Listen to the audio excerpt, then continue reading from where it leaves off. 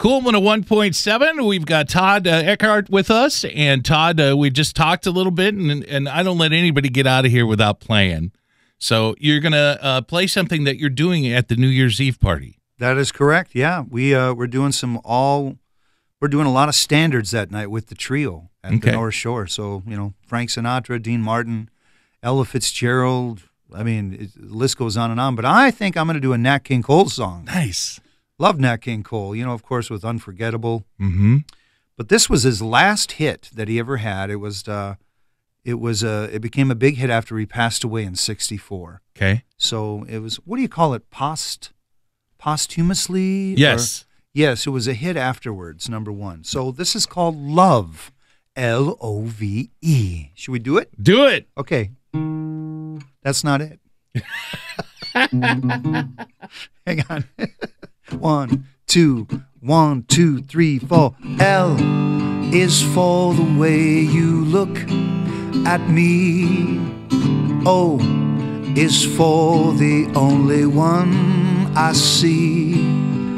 V is very, very extraordinary. E is even more than anyone that I adore. And love is all that I can give to you. Love is more than just a game for two. Two in love can make it. Take my heart and please don't break it. Love was made for me and you. You want to play a solo, Chris? Yeah, there you go. That's pretty good.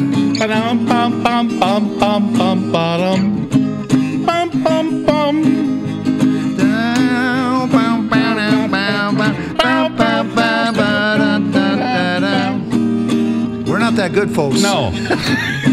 We're not going on the road, that's for sure.